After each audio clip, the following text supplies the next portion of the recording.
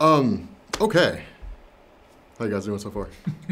Okay. Okay. I'm worried now. Do I have to be a very smart comic book person or what? Like, yeah, man. With me, you got to know your What stuff. do I man. need to know? Yeah, I'm gonna ask you some insane questions. Okay. In this in this one issue on the third page, what happened to Nick Fury? No, um, no. Okay, so so for the most part, I think all eyes are kind of on you guys. You know, especially like and, and with Tom Holland because people are looking at Nick Fury and they're saying, okay, so Nick Fury got dusted, right?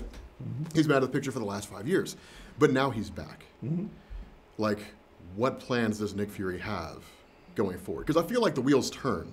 Well, he has no plan right now. He's trying to figure out, you know, what exactly happened. He kind of knows who's gone. Uh, he does know that Tony Stark left him sort of a directive that this kid is the next thing. You know, mm-hmm. that I'm leaving everything I know to him because I believe he's the one. And I got to kind of get him from thinking he's the friendly neighborhood Spider-Man to no, dude, you're the world savior. You got to drop this whole, you know, you got to grow up. Yeah. And he wants to be a teenager. So mm-hmm. it's that. Yeah. I'm that annoying relative that's like, grow up, take some responsibility, have a baby, get a wife, That's what? Have a baby, get a wife. get a rib. Come Well, on, He's grow up. 16 years old, man. Grow You up, want get me a job. You have a He was talking job. to, he was talking to me. Yeah, he wasn't this- talking, yeah. Oh, he wasn't. Yeah, yeah, it's fine. okay.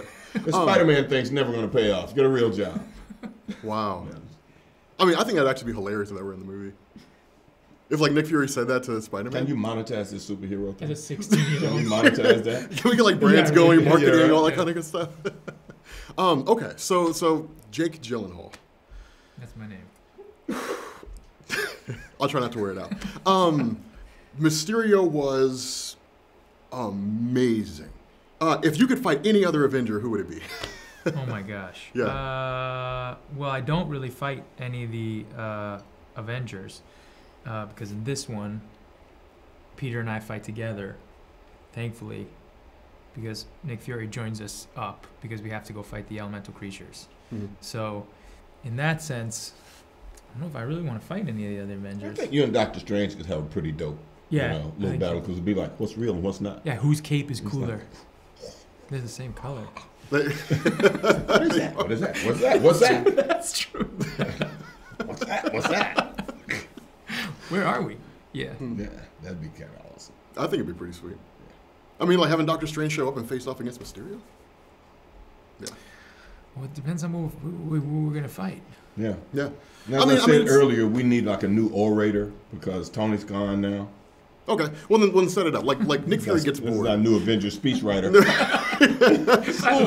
well, I mean, if it's if it's like Nick Fury's bored, he's like, you know what? I think it'd be cool to just see Mysterio fight someone. So then, like, like, are you gonna pick the Incredible Hulk? Just like go fight the Incredible Hulk. Let's just see what happens. I think it'd be funny. Could be. Could be. We can get some traction out of that. You know? See- Okay. See, uh, you got a girl? Yeah. Want to meet Captain Marvel? Like, grow up, Mysterio. Get a family and some kids. Get a family, have some kids. Actually, Mysterio lost his family in the other Earth that he came from. Mhm. That's the whole thing. Well, that's that was going to be my next question. Is is for the character Mysterio? Obviously, looking at, at from what we've seen with the trailers and everything, like he's a dynamic character. Yeah. So can you tell us about that dynamic nature of Mysterio?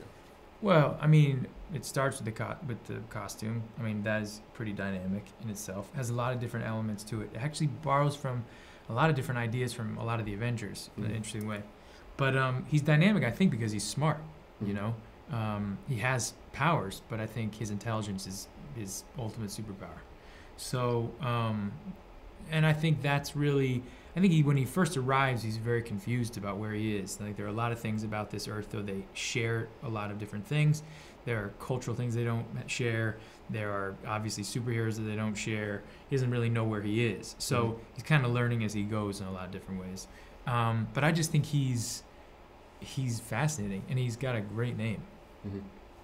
Yeah, I've, I've always kind of dug the name Mysterio. Yeah. Yeah, it's like okay, kind of a fun fact in the comics, Mysterio actually. Well, I don't know if I should say that because it's kind of a not really a spoiler for the movie, but it's kind of a crazy thing. Um, in the comics, Mysterio is like he's a straight up villain, and there's one story called Old Man Logan where he tricks Wolverine into killing all the X Men. It's pretty wild. Yeah, it was pretty cool.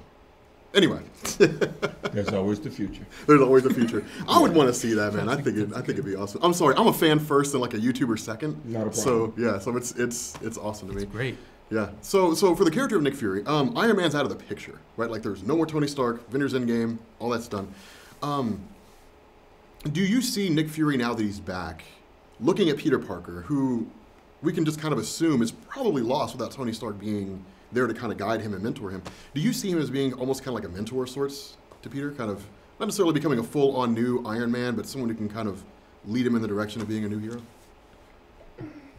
I guess maybe we'll call him an influencer more so than a mentor.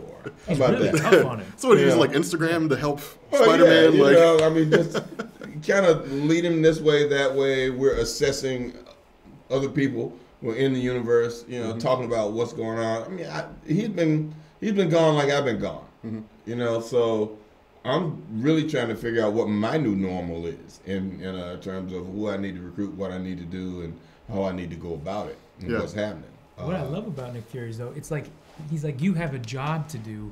Why can't you just get it done? yeah. I love that about him. Right. And that's so. I, I mean, mentor or not, there are so many things that that everyone has to deal with, and he's got a big threat coming on the earth, and he's like, how could you not do it? And it's a totally logical thing. Well, yeah, I mean, like, like you got Nick Fury who like ran Shield, right? So it's like this needs to be done. Somebody somewhere gets it done, and suddenly, like, you know, after Winter Soldier, we saw that like there is no Shield or any of that stuff. So it's kind of like you know. So, so my final question here, all right, who is your all's favorite Avenger, and why is it Thor? I thought you. I thought you did you just say what I thought you? Yeah, you I just- I just said said what you think I Okay, all right, cool. Well, that was a great interview. So Yeah, but for real and for true, like who's who's your all's favorite Avenger? Favorite Avenger? Yeah, you can't say yourself. Why not? Well, I'm not an Avenger. Well, I mean, kind of like you kind of lead them a little Yeah, bit, yeah, like yeah. um, sort of. I'm just a master manipulator. Um, Yes, Natasha was always my favorite because I recruited her. You know, she was around, even though they didn't let me. I'm so far. I'm not in her origin story movie, but uh, you know, she's uh, she's like the person that I was closest to Mm-hmm. in that group. You know, and you know, all the others are fine, but Yeah. you know, she's like my personal. I don't know if there if I have a favorite. It's sort of split between two, and I'm thinking about it. I'm sort of tossing my mind. There are certain things I like about all of them. I do love Doctor Strange. I do love all the things in Doctor Strange and what Doctor Strange can do. He's not really Kind of my Avenger. mind. He just an interloper. Okay, well then, He didn't have a he didn't have a card and he didn't pay dues. I should then I should say something like Iron Man. Okay, Yeah.